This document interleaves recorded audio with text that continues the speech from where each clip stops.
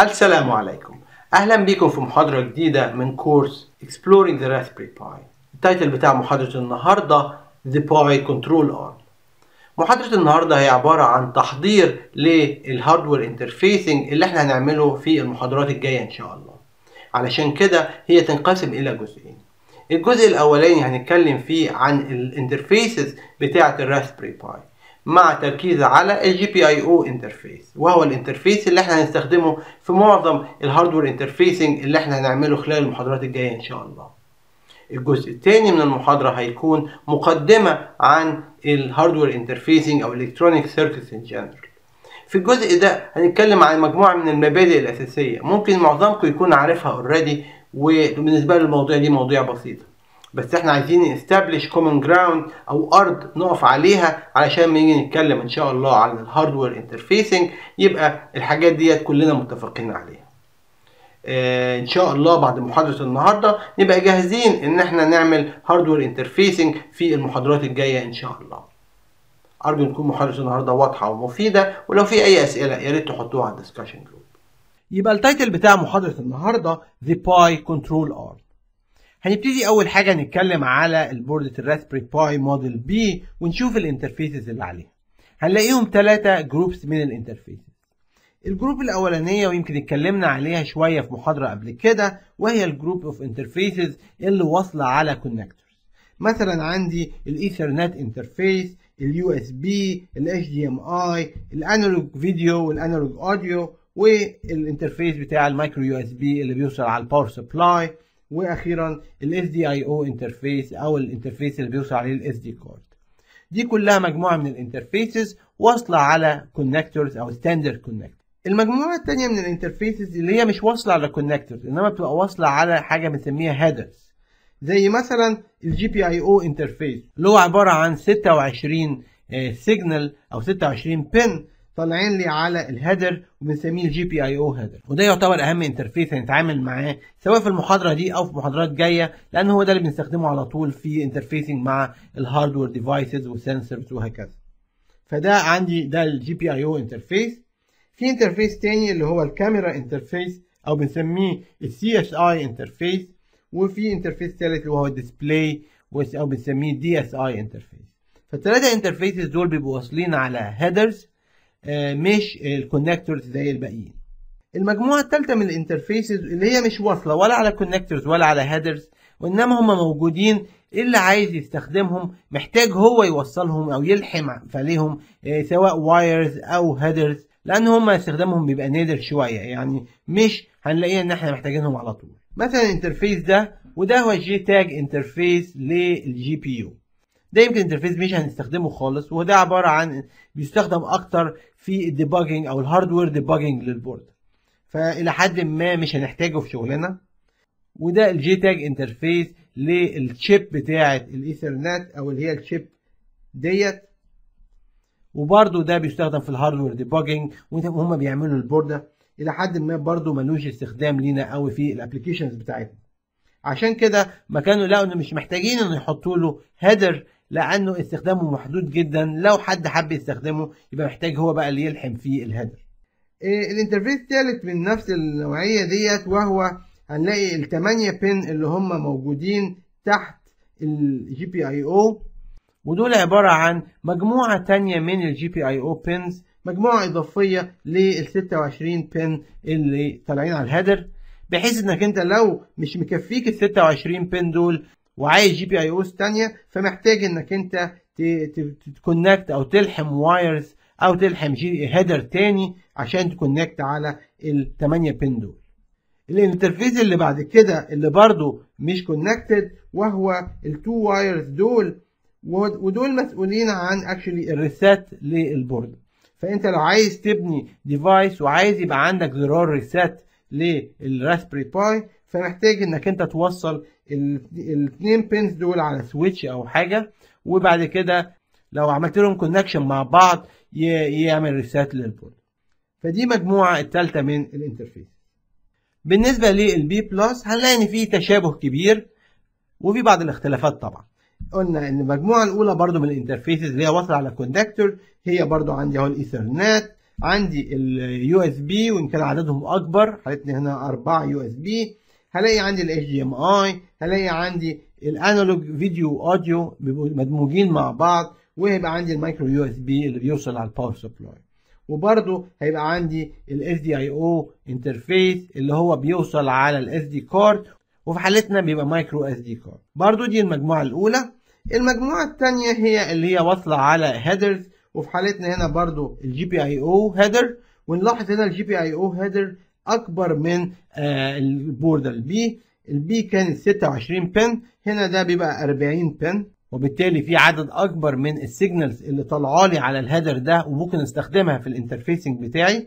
وهلاقي برضو ال CSI interface اللي هو بتاع ال camera interface وال DSI اللي هو بتاع ال display interface لما نيجي للمجموعة الثالثه هلاقي إن معظم ال interfaces اللي هي مش connected على حاجة الاقيها اتشالت في ال B plus يعني مفيش هنا حاجة أهو ومفيش هنا حاجة أهو. ولكن يفضل الايه ال reset interface موجود اللي هم الاثنين pins بتوع ال reset اللي هم دول. برضو دول ممكن ي get connected على مثلا push button switch بحيث إن أنا أعرف أعمل reset لل board.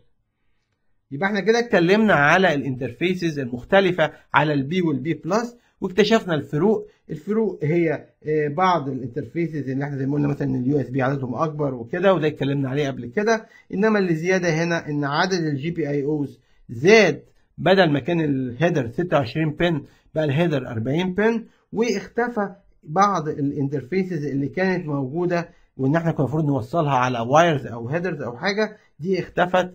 وفضل بس ال reset button هو ده الوحيد اللي موجود.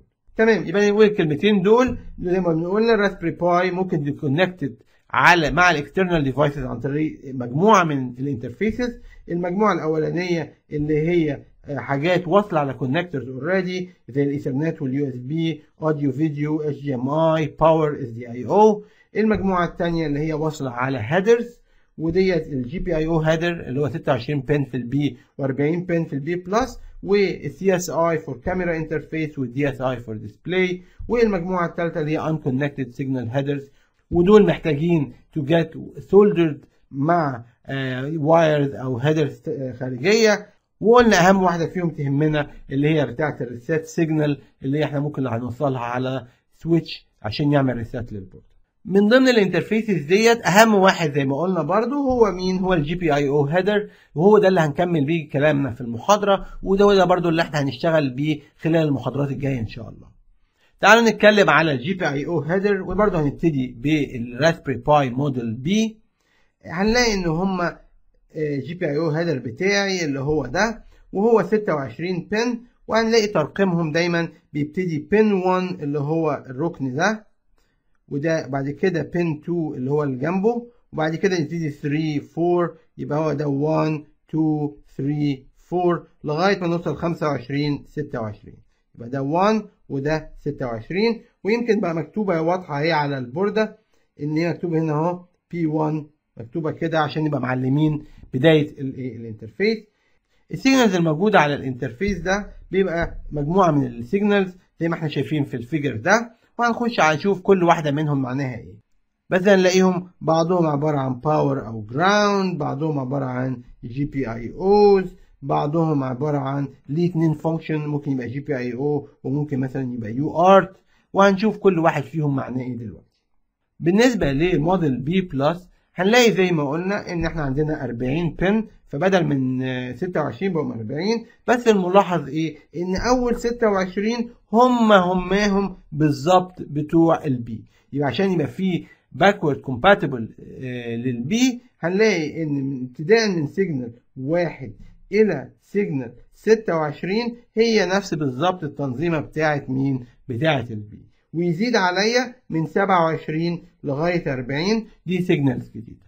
يبقى زي ما بنقول مقارنة ال B بال B Plus هنلاقي إن أول 26 pin في ال B Plus هي نفسها بالظبط الايه ال pins بتاعت ال B ودول بس إيه مجموعة إضافية بحيث إن ده يضمن لي لو أنا عندي project already واصل على ال B وعايز upgrade البورده ال B Plus مش هحتاج أغير أي حاجة في ال wiring بتاعة البورده ديت ومجرد إيه هيشتغل على أول 26 بن زي ما يكون شغال بالظبط على بورده ال B تمام؟ يبقى زي ما بنقول GPIO header هنلاقي إن هو عبارة عن أهم interface بالنسبة لنا عشان نعمل بيه interfacing على hardware devices و sensors وأي حاجة عايزين نوصلها على ال Raspberry Pi وهنلاقي إن هو في حالة ال B كان 26 pin في حالة ال B Plus ب 40 pin وان ال B Plus is backward compatible لل B نتيجة إن أول 26 pin من ال GPIO header بتاعها matching بالظبط للموجودين في ال B وده يضمن لي إن أنا لو عندي أي hardware design إن هو يوصل على ال B هيفضل برضو شغال مع ال B Plus من غير أي تغيير في ال wiring خلاص كده قلنا حاجة عامة. عايزين بقى نخش في التفاصيل شوية. هنتكلم على ال signals المختلفة اللي موجودة على ال GPIO header هنشوف كل نوع لوحده.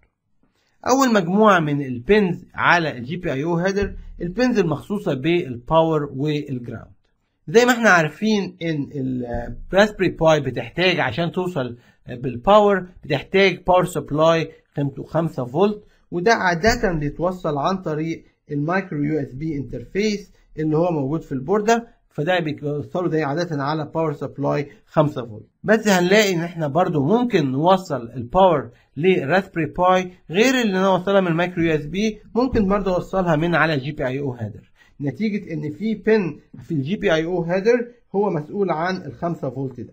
فزي ما أنتم شايفين هنا أهو ال pin نمرة 2 في ال Raspberry Pi هو عبارة عن 5 فولت. وممكن نستخدم ال 5 فولت دي في حاجة من اتنين. يا إما إن أنا بدل ما أوصل power هنا هوصل power عن طريق ال pin ده فيبقى أنا ب power ال Raspberry Pi عن طريق ال GPIO header وده ساعات بس بحتاجه نتيجة إيه؟ نتيجة إن أنا موصل ال Raspberry Pi ببوردة تانية والبوردة التانية دي فيها power supply ففي الحالة دي ملهاش معنى طبعا إن أنا يبقى عندي power supply لل Raspberry Pi و power supply للبوردة التانية. فأنا في الحالة ديت ال power supply التاني ده بيغذي البوردة الإضافية وفي نفس الوقت عن طريق ال GPIO بي power إيه؟ ال Raspberry Pi. فده أول option ال option التاني إن ال Raspberry Pi. أنا بوصلها على ال power وبعدين هي بتغذي بوردة تانية واصلة عليها. يعني لو بوردة تانية متحتاجش power عالية فممكن Raspberry Pi هي اللي provide power للبوردة اللي connected عليها. فزي ما بنقول أهو إن وجود ال 5 فولت وال ground موجودين على ال GPIO header ده بيمكنني من إن إن ال Pi ممكن أعمل لها powering من بوردة تانية راكبة عليها أو إن أنا ممكن أستخدمها عن طريق إن ال Raspberry Pi هي اللي power بوردة تانية.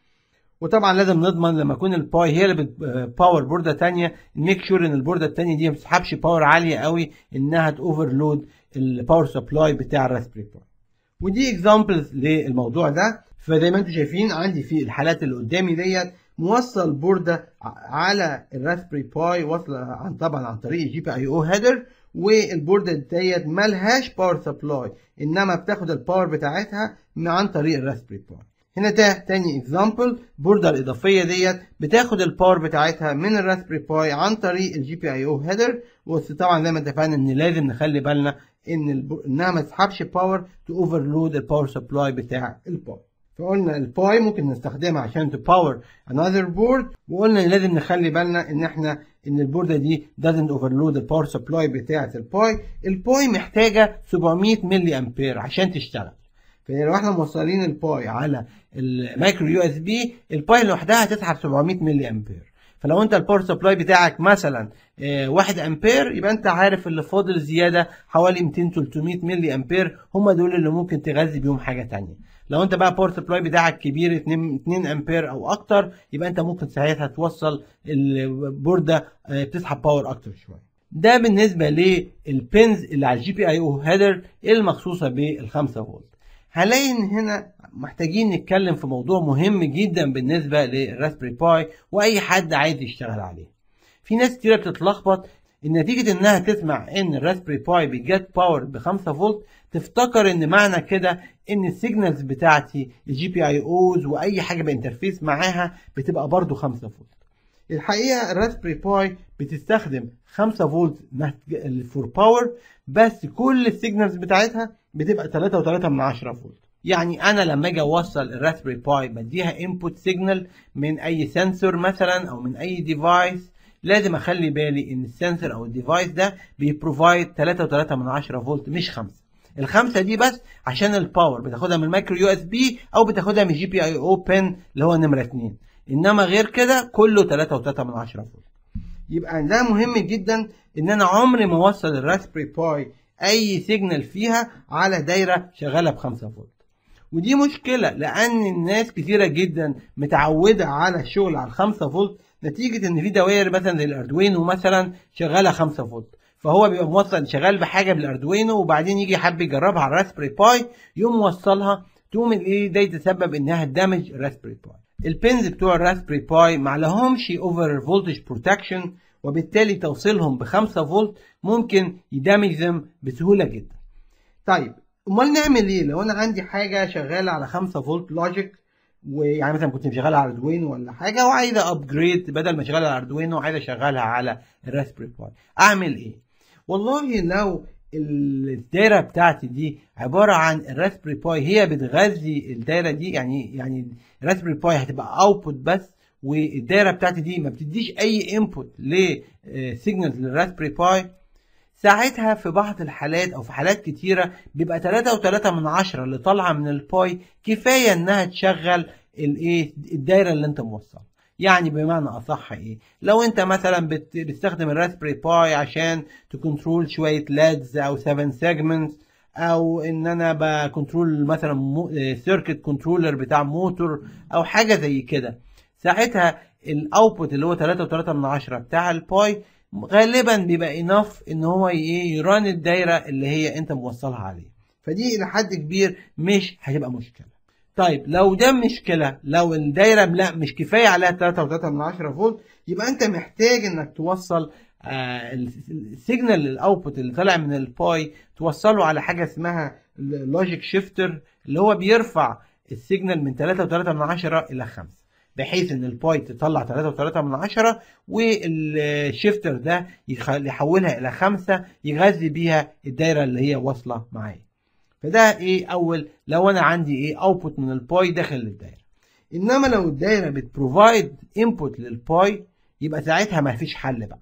ما ينفعش إن أنا أوصلها. لأن أول ما الدايرة دي تطلع 5 فولت على ال signal بتاعت ال Pi ده will damage ال Pi الحل إن أنا لازم أوصل اللي هو ال logic shifter اللي ينزل لي ال 5 فولت إلى 3.3 من 10 بحيث إن إيه إن ال Pi تشتغل على هذا الفولت. فأنا مركز قوي في الكلام في الموضوع ده علشان خاطر إن إحنا لأن ده من الأسباب الرئيسية اللي الناس بت damage بيها البوردات بتاعتها. وعلشان ال Pi كل ال signaling بتاعها ب 3.3 من 10 فولت عندها برضو pin 3.3 من 10 فولت علشان نستخدمه ك reference. لما نيجي نوصل دواير فيها محتاجة 3.3 من 10 فزي ما نشوف هنا اهو ده ال GPIO header وهنلاقي إيه؟ إن إحنا pin نمرة واحد وال pin نمرة 17 إيه عبارة عن 3.3 من 10 فولت.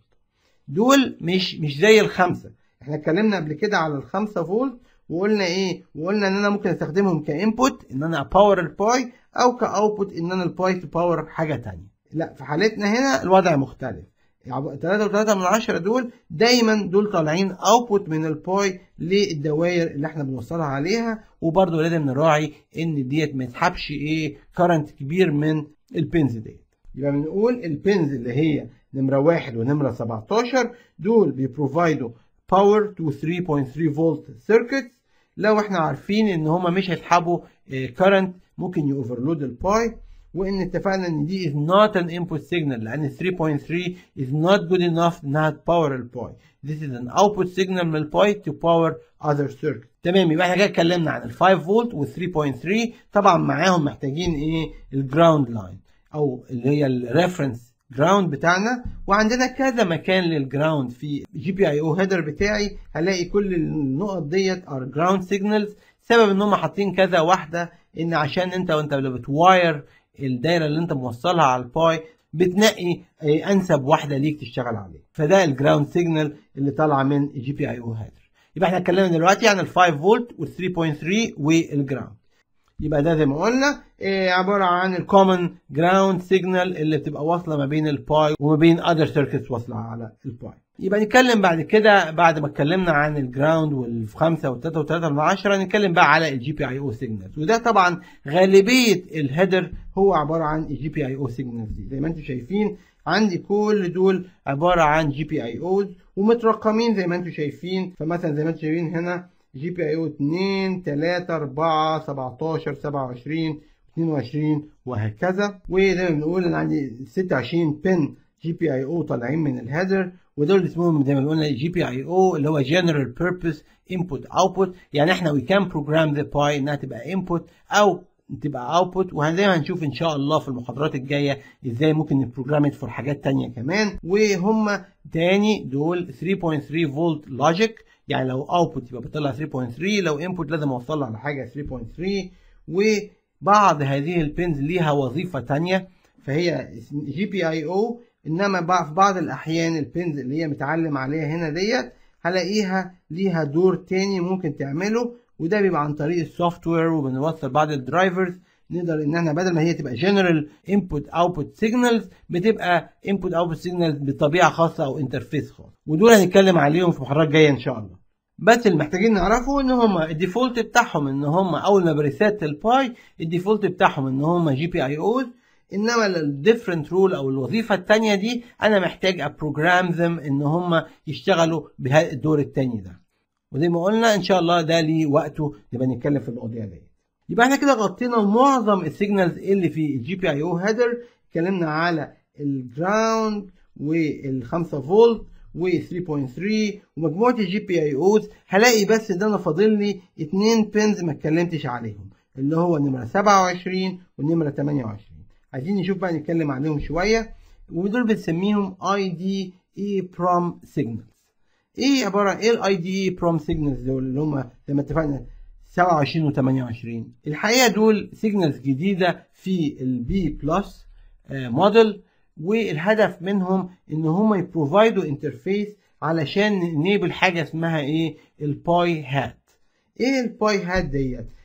ال HAT دي اختصار لكلمة hardware attached on top ال HAT دي تبقى عبارة عن أي board ة نوصلها على ال Raspberry Pi على ال GPIO header ونركبها فوق ال Raspberry Pi واسمها HAT يعني كانها طاقية يعني على ال Raspberry Pi ودول ال two pins دول بيستخدموا ك interface علشان يتكلم مع ال HAT ويعرف منها شوية بيانات at boot up يعني أول ما وصل ال Pi يقوم ال Pi تروح عن طريق ال two pins دول تروح تكلم ال HAT أو ال daughter board اللي واصلة عليها تعرف منها شوية حاجات علشان تظبط نفسها أو program ال input output pins بالطريقة المناسبة لل HAT ديت. فديت عبارة عن HAT ودي عبارة عن HAT. وزي ما اتفقنا ال board ات دي بيبقى عليها some EEPROM بحيث إن Raspberry Pi at boot time بت query ال memory دي أو بتسأل ال memory دي تقرأ منها شوية حاجات. البيانات دي تاخدها عندها تعرف ال HAT دي عبارة عن إيه وإيه متطلباتها عايزة ال pins إيه اللي تبقى input وإيه ال pins اللي تبقى output وحاجات زي كده بحيث إن automatically تبقى زي plug and play إنك توصل لل HAT automatically الـ Pi إيه ت configure itself بحيث إنها تشتغل مع الـ HAT دي. فتمام كده. يبقى إحنا اتكلمنا في أول المحاضرة عن ال different interfaces على الـ Pi وبعدين ركزنا على الجي بي اي أو وبعدين مسكنا الجي بي اي أو وبصينا على كل ال signals اللي على ال header وكل واحدة بتمثل إيه أو بتعبر عن إيه نشوف بعد كده لما نحب ن connect ال Raspberry Pi بالدايرة بتاعتي. ممكن طبعا أوصل directly على ال header أوصل مجموعة من ال wires بحيث أوصله على ال circuit بتاعتي. إنما عادة الناس بتستخدم حاجة اللي هي اسمها بنسميها ال cobbler أو اللي هو ال connector اللي قدامنا ده عبارة عن بيوصل على ال header هنا وبعدين بيمشي ب ribbon cable على ال connector ده بحيث إن أنا هنا على مثلا ال breadboard بتاعتي إيه ال signals بتبقى طالعة لي هنا وطالعه لي هنا بحيث إن أنا أقدر أوصل عليها من غير ما يبقى الدنيا كلها معكوكة إيه wires وحاجات زي كده. فديت مجرد بيسميه cobbler أو breakout connector الهدف منه إنه يسهل لي ال interfacing على ال Raspberry Pi GPIO header بس برضو خلي بالي وأنا بوصل ال cobbler ده إن أنا أوصله في ال direction الصح.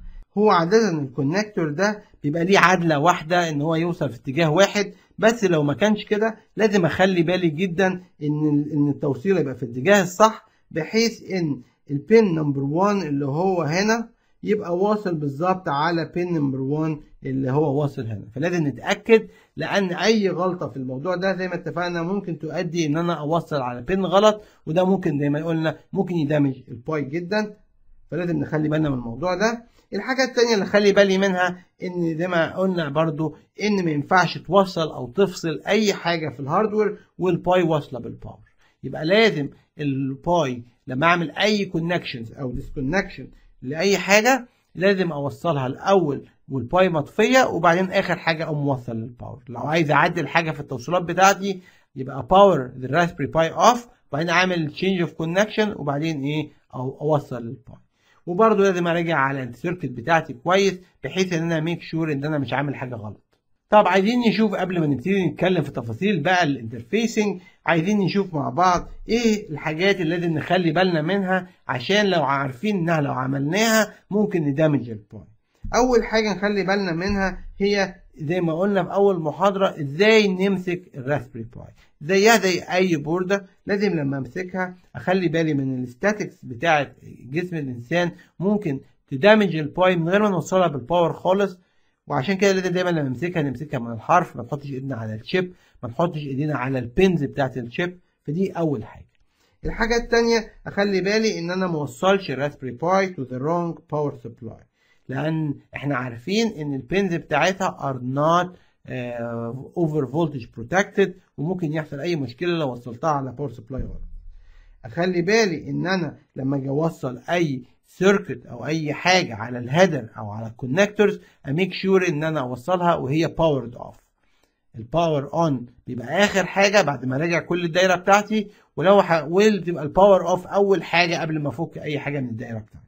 فدي لازم اخلي بالي لأن أي تغيير في التوصيلات ممكن يعمل transient current وال transient current ده ممكن يسبب انه ي damage ال board حتى ال USB اللي هو عاده إحنا على الكمبيوتر عادي نفك ال USB أو نوصل ال USB برضه في احتمال إن هو ممكن يسبب damaging لل board فبرضه أخلي بالي من الموضوع ده.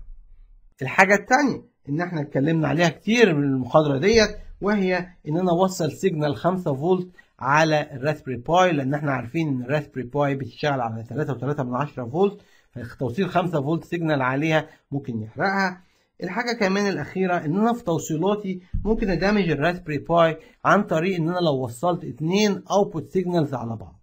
يعني إيه؟ يعني أنا لو عندي two signals two GPIOs المفروض الاثنين يبقوا output وأجي بالغلط أقوم موصلهم على بعض اللي هيحصل إن مرة واحد فيهم بيطلع 1 واحد تاني بيطلع 0 يبقى أنا وصلت 1 على 0 short circuit ممكن ي damage ال Pi هيعمل إيه؟ excessive current ي damage ال Pi فبرضه أخلي بالي من توصيلاتي إن أنا ما بقاش موصل أي signal غلط.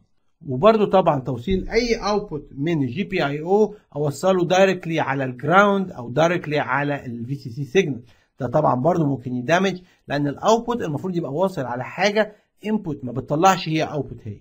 إنما لو وصلته directly على ال ground وبعدين ال output كان بيحاول يطلع 1 يبقى عندي دلوقتي 1 واصله على ال ground هي هي بعمل excessive current أو العكس لو وصلتها directly على 3.3 من 10 فولت برضو ده ممكن يعمل current زيادة ي damage ال Pi يبقى دي مجموعة من الحاجات لازم نراعيها وإحنا شغالين.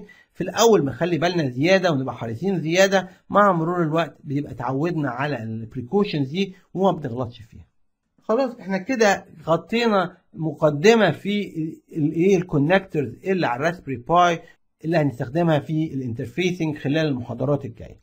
قبل ما نخش على ال interfacing عايزين نخش شوية نتكلم على مجموعة من ال basic concepts for electronic circuits أنا المجموعة ال basic concepts دي ممكن يكون لبعضكم المواضيع بسيطة جدا concepts عدت عليكم بسيطه جدا. بس أنا شايف إن من المصلحه إن إحنا نفكركم بشوية الحاجات ديت واللي ما عندوش فكرة في الموضوع ده يبقى إيه؟ يبقى عنده شوية المعلومات دي وهي basic concepts خالص.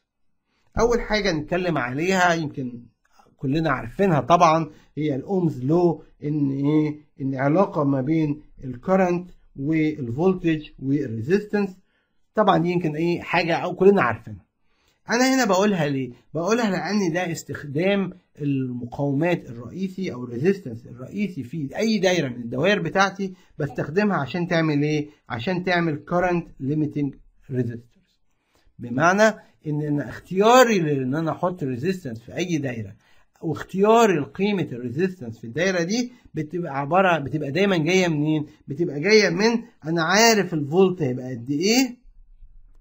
وعارف أقصى current ممكن يستحمله ال signal بتاعتي قد إيه يبقى أقوم حاطط resistance تضمن إن ال current بتاعي يبقى أقل من ال maximum current يعني في ال safe region يبقى أنا مثلا لو عندي GPIO طالع من ال Raspberry Pi وأنا عارف إن ال GPIO ده هيبقى مثلا عايز أوصله على مثلا وليكن أي حاجة وبعد كده أشوف ال resistance بتاعت الحاجة دي واعرف أنا الفولت هنا طالع 3.3 من 10 فولت يبقى أنا عارف ال current اللي هيمر هلاقي إن ال current ده مثلا أكتر من اللي أنا أقدر أستحمله أقوم حاطط extra resistance علشان ت limit ال current ده لل safe range لل Raspberry يبقى زي ما بقول إن إحنا بنستخدم ال resistance في ال electronic circuit بتاعتنا كأول استخدام عشان limit ال current اللي بيمشي في ال circuit وهنلاقي إن إحنا دايما محتاجين نحط في بعض الدوائر بتاعتنا نحط resistance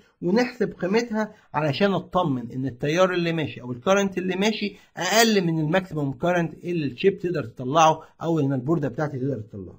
اللي أنا أقدر أقوله لكم إن Raspberry Pi أقصى حاجة تقدر تطلعها من أي GPIO هو 50 ملي امبير يبقى أنا دايما أراعي لما أوصل دايرة إن أنا أقصى حاجة 50 ملي طبعا ما بقاش على الحركرك فمثلا أحط أطلع maximum 20 30 ملي maximum وأظبط ال resistance عشان تحقق لي إيه ال condition ده. فده أول حاجة نتعرض لها في ال electronic circuits بتاعتنا. الحاجة الثانية اللي نتعرض لها غير ال resistance هنتكلم على شوية عن ال LEDs ال LEDs أكيد كلنا شفناهم قبل كده وتعاملنا معاهم قبل كده. هو عبارة عن نوع من الديود. لما بيمر فيه current بيطلع إيه بيطلع ضوء وده بيكون شكله في الحقيقة. وبعدين لو تبص شوية جوه الحتة الحتة ديت تلاقي إن فيها تلاقي حاجة كبيرة هنا وحاجة صغيرة. الكبيرة ديت اللي إحنا بنسميها ال cathode واللي هي ال negative. والصغيرة هنا ديت بتبقى اسمها الأنود أو اللي هي الحتة ال positive. وهو زي ما أقول لكم عبارة عن ديود وبالتالي التيار بيعدي بس في الاتجاه ده. يبقى زي ما بنقول إن ال LED أو بنسميه ال light emitting diode ده بيستخدم علشان لما أنا أكون عايز أشوف مثلا ال signal بتاعتي دي high ولا low فلو high ال LED ينور لو low ما ينورش. فلو هو واصل على GPIO هينور بس. لو GPIO بيطلع 1 أو هو 3.3 من 10 فولت يعني. وبرده قلنا إن هو بما إنه دايود يبقى بيعدي ال current بس في اتجاه واحد. وبرده زي ما قلنا قبل كده إن أنا لما بوصله على GPIO لازم أكيد هوصله على مقاومة علشان أضمن إن ال current يبقى إيه؟ يبقى في حدود معينة. اللي هي 50 ملي أمبير اللي ال GPIO يستحمل يطلعها. الحاجة الثانية اللي أنا أحب أعرفها إن لما بوصله يعدي current بيبقى هو بيشيل فولت حوالي 0.4 فولت مثلا أو حاجة زي كده وبالتالي أنا لو وصلته على 3.3 من عشرة يبقى وهو بيشيل 0.4 يبقى فضل لي 2.9 فولت لازم ال 2.9 فولت دول أحط لهم resistance إن هم يضمن ال current بتاعي يبقى في إيه؟ في الحدود المقبولة. يبقى ديت أهي دايرة توصيل ال GPIO على آه LED زي ما أنتم شايفين اهو أنا حاطط مقاومة 330 أوم وده تقريبا بيضمن لي إن ال current هنا بيبقى حوالي 10 ملي أمبير مثلا. يعني نتيجة ده 3.3 من 10 فولت ودي 330 أوم فال current بيبقى حوالي 10 ملي أمبير. كفاية إن هو ينور الديود وفي نفس الوقت أنا كده مش محمل ال GPIO بتاعي. طبعا إزاي هوصل التوصيلة بتاعتي؟ طبعا أكيد دي مجرد الرسمه بس. أكيد طبعا أنا لما اوصلها مش هتبقى الحاجات طايرة كده في الهواء بنستخدم كلنا الايه ال breadboard ال breadboard أكيد يعني أكيد جزء كبير منكم تعامل معاها. هي عبارة عن حاجة زي اللي إحنا شايفينها كده. بيبقى فيها عبارة عن مجموعة من النقط. النقط دي بعضها واصل ببعضه. شكلها من جوه بيبقى عامل كده. يبقى أنا عندي إيه؟ عندي النقط دي كلها واصلة ببعض. كل خط من دول واصل ببعضه زي ما أنتم شايفين. وبعد كده اللي بالطول هنا الخط ده كله واصل ببعضه والخط التاني ده واصل لبعضه. عادة بنستخدم مثلا ال positive ده وصل عليه مثلا الخمسة فولت بتاعتي والازرق ده بوصله على ال ground مثلا. طبعا ده مجرد تعود أو اقتراح بس تقدر توصله زي ما أنت عايز. إنما مثلا تيجي توصل أي حاجة ت make sure إنك أنت عارف إن هم إيه واصلين على بعض بالشكل ده.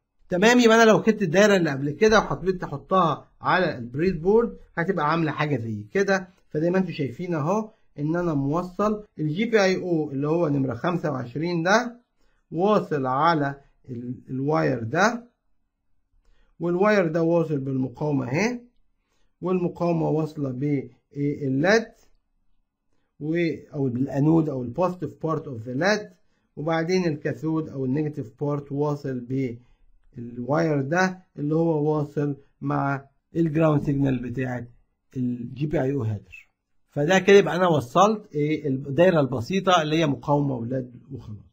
ده بالنسبة لتوصيلة ال LED إنما لو حبيت أوصل بقى مجموعة أكتر من ال LED هلاقي إن إيه كل واحدة توصل توصل على ال GPIO بتاعها وكل واحدة محتاجة توصل على المقاومة بتاعتها وواصلة على ال ground. فبرضه نفس القصة أهي كل واحد من دول هو عبارة عن GPIO كل واحد منهم طالع ب wire ال wire ده واصل على ال LED.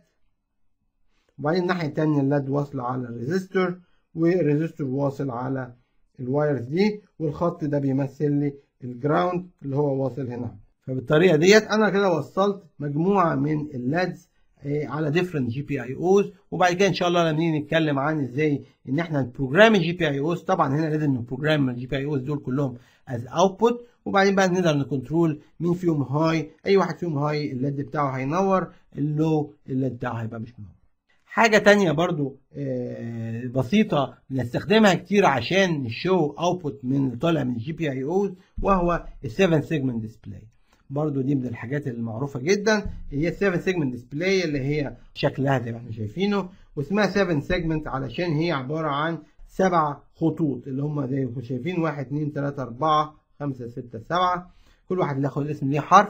هم في الحقيقة السبع خطوط دول هم عبارة عن سبع LEDات بس متنظمين بشكل اللي هو شكل الثمانية ده. فهي داخليا الدايرة ديت بتبقى عاملة بتبقى عاملة كده. يا إما بتبقى حاجة اسمها common cathode أو common anode circuit لو اتكلمنا عن ال common cathode وهي مشهورة أكتر هنلاقي إن أنا بوصل ال GPIOs بتاعتها من لغاية من A لغاية G, آه واصلة هنا بس طبعا عن طريق resistance وبعد كده اهو اللي بيحصل بوصل ال com كل ال cathodes واصلين internally واصلين مع بعض على wire واحد.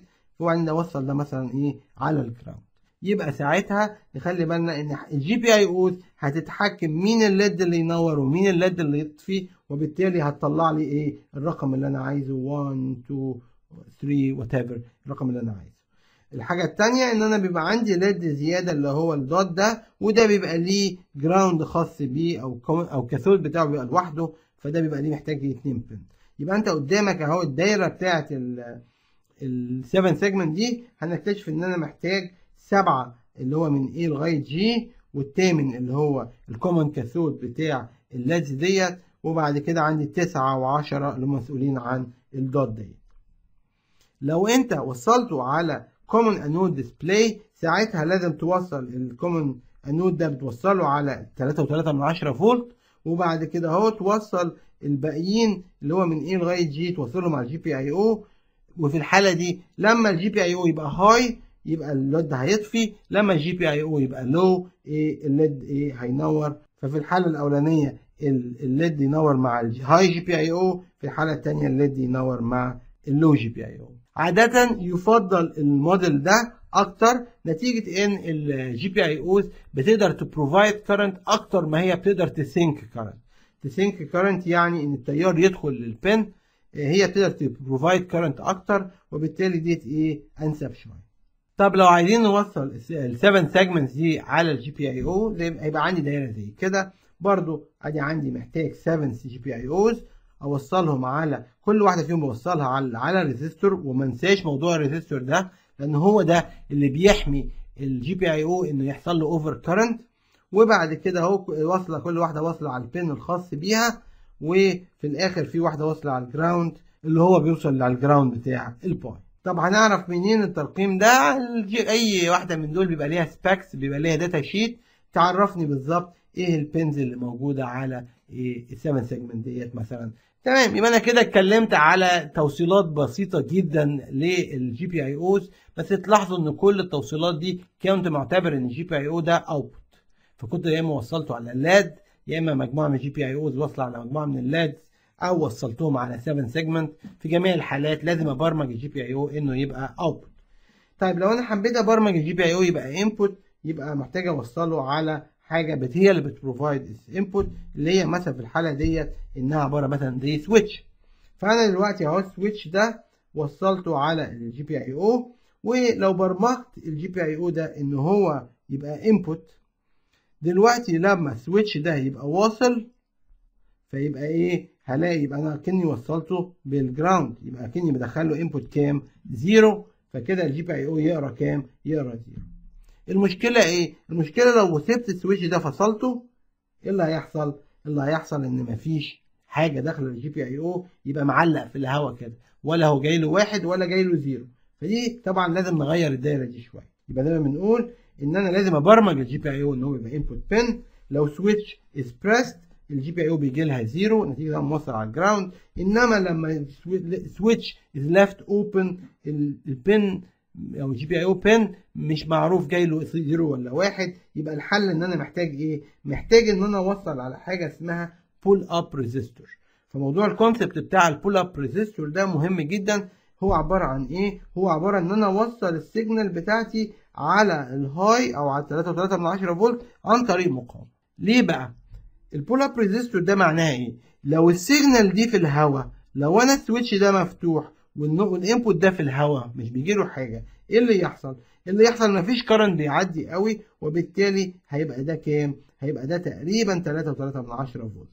وبالتالي يبقى إيه؟ يبقى جي بي اي أو جاله high يبقى اسمها pull up resistor لأن ال resistor بيسبب إن ال signal تبقى high unless you do some effort إنك أنت هترجعها له عن طريق إنك تعمل إيه؟ إنك تضغط على ال switch تمام؟ فدي اسمها pull up resistor طب هل أنا لازم يبقى الوضع كده؟ لا أنا ممكن أغير القصة. إن أنا أعمل إيه؟ إن أنا واصل أقلب ال ground مع 3.3 فزي ما أنتم شايفين دلوقتي إيه اللي بيحصل؟ بقى ال 3.3 من 10 هي اللي واصلة على ال switch. يبقى أنا لو ال switch اتقفل دلوقتي يبقى داخل لي high. إنما لو ال switch مفتوح ده ال resistor واصل على ال ground يبقى النقطة دي وصل ال GPI وصل له كام؟ وصل له zero. وساعتها بسمي ال resistor ده بسميه pull down resistor موضوع ال pull up resistor وال pull down resistor ده من ضمن المواضيع اللي هنستخدمها كتير جدا في الدوائر بتاعتنا. هنلاقي كتير جدا إن ال output بتاعي بيبقى في اتجاه واحد والاتجاه التاني إن هو مفيش output بيبقى open connection وفي الحالة دي لازم أوصل إيه ال pull up resistor لو أنا عايز أخلي ال signal high unless ال input يقلبها low أو pull down resistor لو أنا عايز ال signal low إلا لو ال input هو اللي خلاها. بس في الحقيقة إحنا في شغلنا مش هنحتاج نوصل pull up resistor ولا pull down resistor أنا بس كنت عايز أعرفكم ال concept ليه؟ لأن الراسبري باي فيها داخليا على كل pin فيها pull up resistor و pull down resistor وأنت you can enable them or disable them يعني إيه؟ يعني أنت لو خليت GPIO ده برمجته إنه يبقى input ممكن وانت تبرمجه انه input تقول له ووصل نفسك على pull up resistor وفي الحالة ديت لو قلت له وصل نفسك على pull up resistor يبقى أنا مش محتاج ال resistance دي وأعمل إيه؟ وأخلي دي اوصلها على ال ground ويبقى أنا لو ال switch مفتوح ال pull up resistor الداخلي هيخليها high. ال switch مقفول بقت low والعكس صحيح لو أنا وصلتها على pull down يبقى لو ال switch مقفول يبقى high لو ال switch مفتوح يبقى low لو عايزين نتخيل ال pull up resistor وال pull down resistor فكروا في الشكل ده. شايفين الايه ال tool ديت عبارة عن tool في الجيم ديت عبارة عن إن أنا عامل إيه؟ الوزن ده فكروا فيه إن هو ده ال resistor ال resistor ده بيعمل إيه في ال tool بيطلعها لفوق صح؟ يبقى دي عبارة عن إيه؟ ال weight ده اللي هو ال resistance بتاعتي بتعمل pull up لل bar ده. يبقى أنا ال input signal اللي أنا في حالتي ديت هي الراجل أو عضلات الراجل من حقها تعمل إيه؟ لو هي مش موجودة فال signal high لو هي موجودة يبقى لازم يبقى ممكن ينزلها ال signal تبقى إيه؟ تبقى low يبقى أنا وجود ال weight ده عمل pull up لل signal أو عمل pull up لل bar إلا لو ال user forced تبقى low والعكس صحيح في لو أنا عايز أعمل pull down resistor يبقى ال weight ده في حالتي هنا اهو هو عبارة عن بيخلي لي البار ده بتاعي ده low لازم ال user أو لازم ال input signal عايزة تخليها high يبقى تبذل مجهود إنها إيه؟ ترفعها لفوق. يبقى الويت بيمثل إيه؟ إن هو بي pull down ال signal إلا لو ال user عايز يخليها high يبقى دي استخدام تاني لل resistor إحنا اتكلمنا عن ال resistor استخدامها ك current limiting الاستخدام التاني لل resistor إن هو يبقى pull up أو pull down وبرده زي ما قلنا ال pull up وال pull down إحنا مش محتاجين نحط resistors في الدوائر بتاعتنا. نتيجة إن الراسبري باي already جاية معاها pull up و pull down resistor لكل pin كل المطلوب منك إنك أنت بس إيه تعمل له programming خلاص إحنا كده اتكلمنا شوية عن ال output واتكلمنا عن نوصل على LEDs أو 7 segment اتكلمنا شوية عن ال input واتكلمنا إزاي نوصل على ال switch واتكلمنا عن ال pull up وال pull down resistor تعالوا نشوف نوصلهم الاثنين مع بعض. فأنا هنا مثلا عندي راسبري باي وزي ما أنتم شايفين وخدت واحد من ال GPIOs وصلته مع resistance على ال LED وخدت GPIO تاني عملت له programming إنه يبقى input ووصلته على إيه switch وصلته في حالتي هنا وصلته على ال ground وحطيت له أنا خارجيا حطيت له pull up resistor يبقى في الحالة دي أنت المفروض وأنت بت program ال GPIO ده مش محتاج إنك تحط تخليه يشغل الإيه ال internal pull up بتاعه لأن أنا عامل واحدة إيه external وتوصيله بتاعة الكلام ده على إيه ال breadboard برضو بقى إيه المفروض إنكم تكونوا اتعودتوا عليها. لو حتى ما كنتوش متعودين من قبل كده هتلاقي دي ال ground signal أهي واصلة على ال wire ده. يبقى الخط ده كله ground ويبقى دي ground يبقى إيه عندي ده GPIO واصل على ال wire ده. واصل على ال LED وبعدين واصل على مقاومة على ال ground ده ال output بتاعي. وبعدين أنا جاي موصل برضو ده على ال ground يبقى الخط ده كله ground وبعدين موصل هنا 3.3 فولت موصلهم هنا على ال switch وال switch أهو واصل أهو واصل على مقاومة على ال ground فيعني لو فكرتوا فيها كده هتلاقوا إن الدايرة دي هي بالظبط الدايرة اللي لسه متكلمين عليها من شوية. وطبعا أنت ممكن توصل أكتر من LED أو أكتر من switch ودي دايرة فيها اهي 3 LEDs و2 switches ونفس القصة ومستخدم جي 5 GPIOs وده ال 3.3 وده ال ground فأنتوا ممكن بقى تتابعوا التوصيله أنتوا بقى إيه؟ وتراجعوا عليها. تمام يبقى دي إحنا كده مجرد اتكلمنا عن توصيلات بسيطة جدا اللي هي مجرد توصيل مع LED أو مع 7 segment أو مع switch طيب نشوف لو أنا عايز أتعامل مع حاجة مش محتاجة 3.3 فولت يعني حاجة مثلا محتاجة 10 فولت أو 9 فولت أو أكتر طب أعمل إيه؟ أو حاجة تانية محتاجة current أكتر من ال 50 ملي امبير اللي ممكن يطلع من ال GPIO pin إيه الحل؟ هلاقي إن أنا عشان أ handle bigger loads لازم أخلي في دماغي إن ال GPIO pins في الباي أقصى حاجة بتطلع 50 ملي امبير يبقى دي مناسبة اللي توصل على حاجة بسيطة زي LED مثلا. بس طبعا مش مناسبة إن اوصلها على load كبير بيسحب current كتير زي موتور. أو برضو مش مناسبة إن أنا أوصلها على حاجة محتاجة توصل على فولت أعلى من 3.3 فولت. يعني مثلا الموتور ممكن يكون عايز مثلا 12 فولت عشان ت run it أو 9 فولت عشان ي run it. يبقى يبقى أنا محتاج إن أنا أعمل حاجة إن أنا أستخدم الباي إنها مجرد تستخدم ك logic انها تقرر yes or no إنما ال real current وال real volt جاية من power supply تاني خالص. وفي الحالة دي أنا محتاج إيه؟ محتاج أستخدم ترانزستور تعالوا نشوف دور الترانزستور في الموضوع ده إيه لأن إحنا هنحتاجه في حالات كتيرة برضو. هنلاقي إن الترانزستور ده ليه استخدامات كتيرة و modes of operation كتيرة. إحنا في حالتنا interested بس في mode إن الترانزستور نستخدمه ك switch. يعني إيه؟ يعني ال GPIO pin مسؤول إن هو يا ي turn it on يا ي turn it off والترانزستور مسؤول إن هو can handle بقى الايه ال high current أو ال higher voltage فده شكل الترانزستور وده نتخيل دايما إزاي بنستخدمه. هنلاقي إن ال GPIO pin بتاعي هيبقى واصل على نقطة ال base والنقطه ما بين ال emitter وال collector بتاع الترانزستور تقدروا تفكروا فيها إنها إيه؟ إنها switch يبقى أنا هعمل إيه؟ يبقى أنا دلوقتي ال base. لو هنا عندي high هنا ال switch ده بيبقى اتقفل وبالتالي النقطة دي بقت واصلة على النقطة دي. لو ال input بتاعي is low يبقى إيه اللي بيحصل؟ اللي بيحصل إن أنا ال switch ده مفتوح يبقى النقطتين دول مش واصلين ببعض. وبالتالي استخدام الترانزستور ك switch ه enable me زي ما هنشوف كمان شوية إن أنا أشغل إيه loads أقوى من ال loads اللي ممكن directly be driven by الراسبري باي برضه ممكن تفكروا في الترانزستور من وجهة نظر ال current يعني إيه؟ أنا تاني أنا موصل ال GPIO بتاعي هنا. طبعا through resistance ولا حاجة.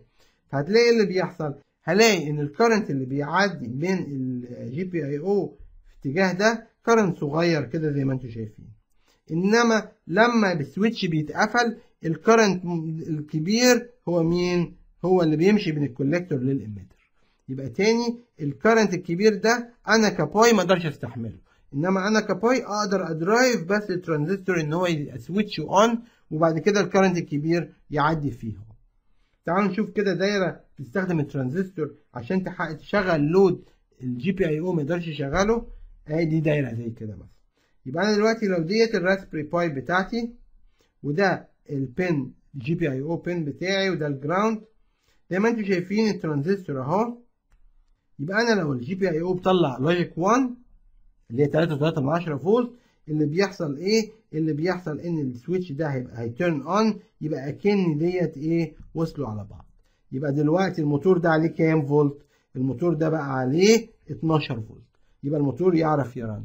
طيب الموتور ده بيسحب current عالي مش مشكلة لأن ال current اللي بيمشي في الموتور جاي منين؟ بيعدي في الترانزستور مش ال current اللي بيطلع من ال GPIO pin ال current اللي بيطلع من ال GPIO pin بيبقى current صغير وإحنا حتى بنعمل له إيه؟ بنعمل له limiting عن طريق ال resistance دي فال resistance دي برده مهمة جدا إنها ت limit ال current بتاعي اللي طالع من ال GPIO إنما ال majority of the current بتبقى ماشية كده أهو وهو ده اللي بايه بي drive الموتور.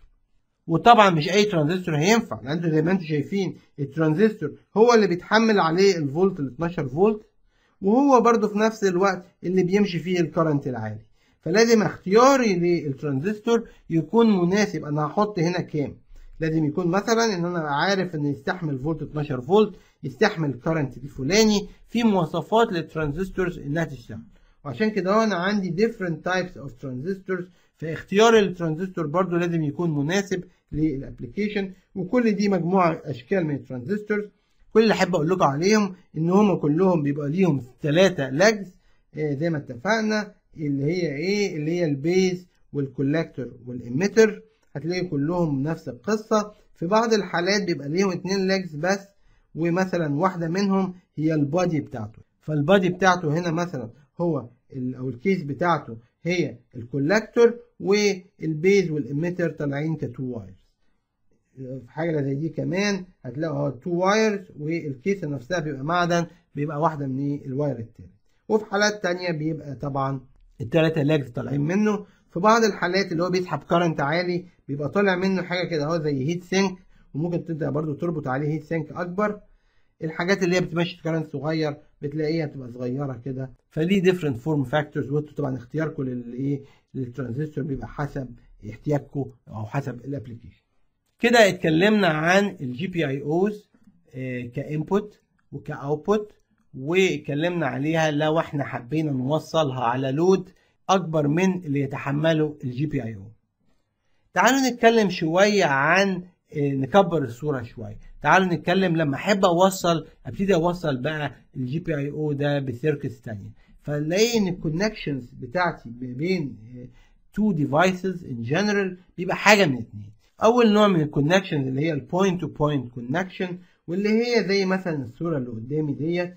عندي chip دي مثلا ال signal ديت واصلة على ال signal دي. واحدة منهم input واحدة منهم output وهي دول بس الاثنين دول اللي واصلين على بعض.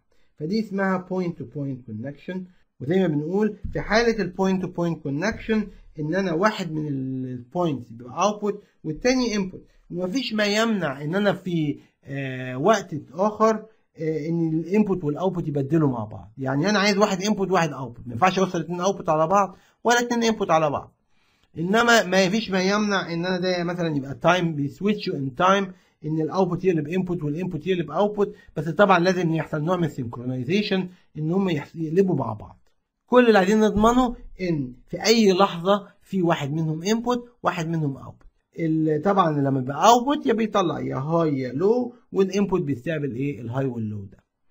الحل الثاني وهو بنسميه bus connection يعني إيه bus connection bus connection معناها إن مش اتنين devices بس بيكلموا بعض على ال signal دي لا ال pin ده واصل كذا device واصلين على نفس ال pin وده بيستخدم كتير قوي في ال computer architecture يعني مثلا وليكن تعالوا نبص على ال data bus اللي هو طالع من ال microcontroller ده هلاقي إيه؟ هلاقيه واصل على ال chip دي وهلاقيه برضو واصل على ال chip دي. فلو أنا مثلا دلوقتي ال microcontroller هو ال out يبقى بعد كده عايز يبعت حاجة لل chip دي المفروض إيه؟ المفروض إن هو يبعت لل chip دي تبقى ديت ال input وال chip دي تبقى إيه؟ disable لل connection دي.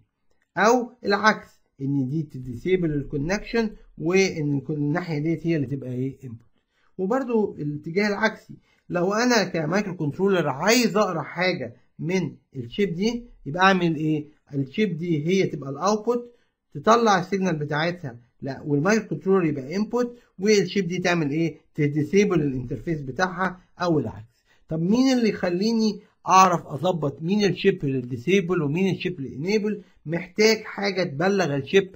أنت دلوقتي I'm selecting you نجيتي تبقي output أو input عشان كده هتلاقوا دايما فيها في الحالة ديت إن أنا عندي chip select signal فزي ما أنتم شايفين هنا أهو دي اسمها chip select signal وهنا برضو في chip select signal يبقى أنا لو اخترت ال chip دي يبقى هي دي اللي شغالة معايا ودي disable ال interface بتاعها disable والعكس برضو.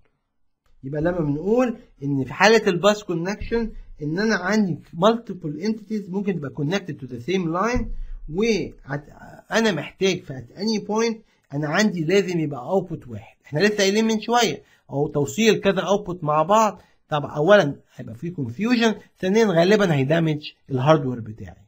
فأنا عايز single output وعايز يا إما single input يا إما multiple inputs طبعا ممكن يبقى multiple inputs لما أنا ببعت output وعايز كذا واحد يقراه مفيش ما يمنع كده. بس let's talk about دلوقتي حتى single input فزي ما بنقول إن أنا ما ينفعش output signal توصل مع بعض. وأنا عشان أ control الموضوع ده محتاج chip select signal عشان أقرر أنهي chip تبقى select يبقى أنا لو عايز اوصل على bus connection زي الصورة ديت مثلا هلاقي لازم إيه؟ ال CPU بتاعي أهو وعندي ال memory وعندي ال I/O device وكل wire من ال wires دي مثلا من ال data bus ده واصل على ال memory وعلى ال I/O device وواصل على ال CPU يبقى أنا محتاج إيه؟ محتاج إن أنا مثلا وليكن ال CPU عايز يقرأ حاجة من ال memory يبقى ال chip select عن طريق ال control bus هيقرر إن ال memory دي تبقى enabled وال device ال I/O device disable وبالتالي أنت output فتقوم هي مطلعة ال signal وال CPU يقرأ. والعكس صحيح لو بيكلم الايه ال I/O device يبقى دلوقتي علشان أقدر أشتغل على باس أنا محتاج إيه؟ محتاج إن ال أو... ال signal بتاعتي تبقى لو أنا output يبقى حاجة من ثلاثة طبعا الحاجة الأولانية يا إما high يا إما low طبيعي أي output يا بيطلع high يا بيطلع low بس الحالة الثالثه هي إن أنا بحاجة يسموها high impedance أو not connected ال high impedance not connected لو ال chip دي is disabled يبقى أنا المفروض ولا high ولا low أعزل نفسي خالص عن الدايرة علشان أنا سايب chip ثانية هي اللي بتقوم بالدور ده. يبقى أنا لو أنا ك chip مش selected المفروض أبقى high impedance و chip تانية هتبقى selected هي بقى تطلع ال output بتاعها high low يبقى أنا. لو المفروض إن أنا ك device واصل على باص لازم يبقى عندي support for اللي هو ال high impedance أو بيسموها tri-state output في term تاني عايز أعرفكم بيه وهو اسمه الايه ال open drain أو ال open collector output ال open drain أو open collector output بيبقى شكله عامل داخليا يعني حاجة شبه الدايرة اللي قدامي دي. يبقى لو دي ال chip بتاعتي أو ال IC بتاعتي ده عايز open collector بحيث إن أنا مثلا ال output طالع مثلا من ترانزستور كده. طبعا أكيد الدايره جوه اعقد من كده. ده مجرد تبسيط ليها. وأدي إيه؟ ال signal اللي هو المفروض عايز أطلعه. ويبقى واصل كده في ال collector طالع directly كده. اسمه open collector عشان ال collector مش واصل على حاجة. فزي ما أنتم شايفين والله لو ال input بتاعت ال signal دي طالعه high إيه اللي هيحصل؟ اللي هيحصل ال switch ده هيبقى وصلناه. يبقى كأن السيجنال الكولكتور أو الاوتبوت بتاع الشيب ديت أكنه واصل على إيه؟ على ال ground يبقى طلع لي إيه؟ طلع لي zero هنا. إنما لو ال input اللي داخل هنا low يعني إيه يعني ال switch ده is not connected. يبقى ال signal دي يبقى لها في الهواء. تمام. لما إحنا قبل كده قلنا لو output ال signal بتاعته في الهواء لو أنا موصله على input يبقى ساعتها أنا محتاج إيه في الحالة ديت؟ اتكلمنا عليها من شوية. احتمال أنا محتاج إيه؟ pull-up resistor علشان يخلي لي لو أنا والله لو أنا وصلت ده ال switch واصل بقيت ground إنما لو ال switch مش واصل هبقى في الهواء لا مش هبقى في الهواء لأن ال pull-up resistor هيخليني high. يبقى نتكلم شوية عن الموضوع ده.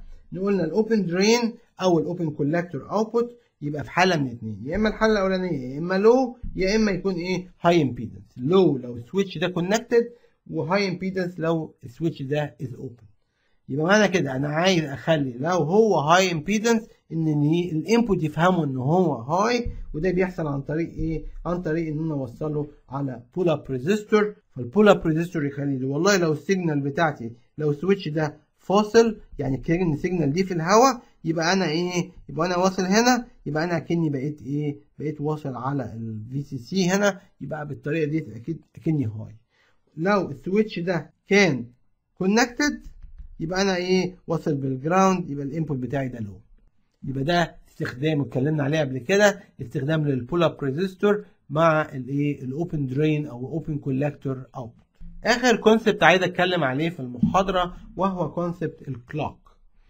في حالات كتيرة جدا في ال logic circuits بتاعتي ببقى بعمل مجموعة من ال events وعايز ا synchronise إيه؟ ال events دي ما بين multiple chips يبقى إحنا محتاجين حاجة زي ال clock أو ال rhythm للدايرة بتاعتي علشان الحاجة تحصل مع بعضها. يعني عشان مثلا one chip بتطلع output والتاني chip بتطلع بتقرأ ال output ده يبقى ال chip الاولانيه تطلع ال output في نفس اللحظة اللي ال chip الثانية بتقراه. والعكس صحيح. يبقى عشان كده أهو محتاجين إحنا بنسميها الإيه؟ ال clock signal بتعمل لي rhythm للايه للدايرة بتاعتي. ال clock signal دي في بعض المواصفات اللي إحنا عايزين نعرفها فأول parameter المفروض نعرفه عنها هي ال period بتاعتها قد إيه أو إحنا عادة بنقولها ال frequency بتاعتي قد إيه فحسب ال frequency بتاعتي طبعا بتحدد لي إيه إيه كم clock بتحصل في الثانية أو كم trigger بيحصل في الثانية ومعناها كم أكشن بيحصل في الثانية وبالتالي بتحدد لي سرعة ال board ة بتاعتي. الحاجة التانية اللي هي ال trigger اللي بيؤدي إلى الأكشن يحصل في بعض الأحيان بيبقى عند ال rising edge يعني ال clock طالعة لفوق وفي بعض الأحيان بيبقى عند ال falling edge أو ال clock نازلة لتحت. فعشان كده أهو يبقى لازم لازم وإحنا بنحدد بعد كده في كلامنا في أي توصيلة هقوم قايل أنا يا ترى الأكشن بتاعي هيبقى مع ال مع ال rising edge ولا مع ال falling edge في بعض الحالات بنهتمش بال rising edge ولا ال falling edge بل بنهتم بال level high level أو low level فبرضه دي من ضمن الحاجات. عادة ال clock signal بتبقى 50% duty cycle يعني إيه؟ يعني فترة ال high قد فترة ال low فديت إيه؟ في معظم الأحيان في ال clock بتبقى ال duty cycle بتبقى إيه؟ 50% يبقى دايما بنقول إن مع في بعض الأحيان ال trigger بيبقى ال rising edge of the clock حالات تانية بيبقى ال falling edge وفي حالات تانية وهنتعرض لها في بعض المحاضرات اللي جاية بيبقى عندي two events أنا عايز أضمن إن هما ما بيحصلوش مع بعض. يعني عندي two events مثلا واحد بيكتب حاجة وواحد تاني بيقرأ حاجة وعايز أطمن إن الترتيب ما بينهم. ففي الحالة دي بخلي واحد منهم يحصل عند ال rising edge وأخلي التاني يحصل عند ال falling edge فيبقى أنا كده اطمنت إن مش هيبقى فيه overlap ما بين ال two actions دول. فده برضو ممكن استخدام لل clock وقلنا برضو إن ال frequency بتاعت ال clock بتحدد ال speed بتاعت الدايرة بتاعتي و how fast I can transmit data how fast I can execute ال actions المطلوبة. وهنشوف بعد كده في المحاضرات الجاية إن إحنا محتاجين ال clock دي مهمة جدا عند لما أكون ب communicate ما بين أي two chips أو أي two devices لازم الاثنين يبقوا مربوطين على clock أو synchronized على clock بحيث إن الايه إن هم يقدروا ينظموا إيه تبادل المعلومات ما بينهم. مش كل واحد فيهم بي run إيه على ال rhythm بتاعه الخاص بيه. لازم يبقى في rhythm ثابت لكل ال circuit بتاعتي. محاضرة النهاردة كانت مقدمة أو تحضير لل hardware interfacing اللي هنعمله في المحاضرات الجاية إن شاء الله. وعلشان كده هي غطت موضوعين رئيسيين.